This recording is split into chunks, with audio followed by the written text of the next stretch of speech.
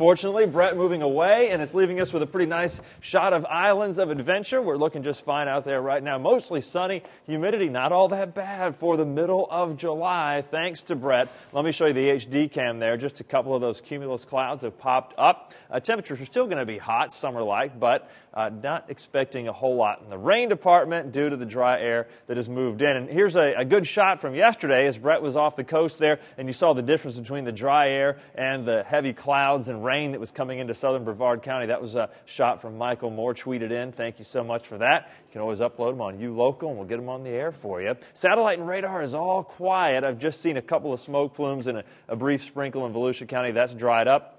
Temperatures right now 87 Orlando, 85 Daytona Beach, and 88 in Melbourne. And the sea breeze is coming in right now. So I don't expect the coast to warm up much more, maybe another one or two degrees uh, in the mid to upper 80s there. Sanford 92, Kissimmee 93, Clermont as well 93 this afternoon, which is seasonably hot, but without as much oppressive humidity, it'll feel a little bit better. So another fairly nice evening. In fact, just a 10% rain chance 3 to 5 o'clock. 88 for your evening plans there at 7 o'clock, and plenty of sunshine. 9 o'clock numbers down toward the low 80s, and then at 11 we're in the upper 70s. Now here's the latest on Tropical Storm Bret, the 11 o'clock advisory. 50 mile an hour winds. It's still moving to the north northeast. It's picked up speed to 8 miles an hour. It'll be staying away from the U.S. coastline. Looks like it's just going to weaken, and the remnants will pass between the U.S. and Bermuda. Meantime, that dry air continues to wrap in on the backside of Bret into central Florida through tonight.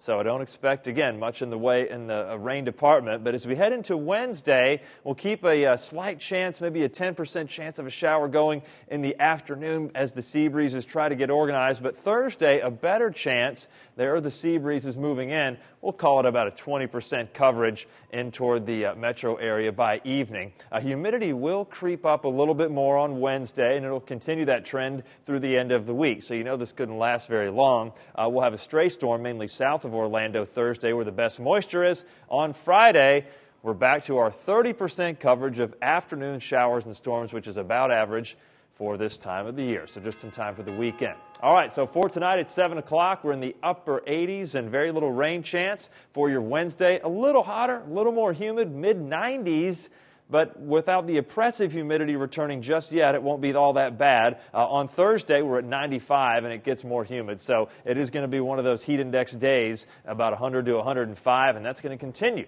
into the weekend. Back to you.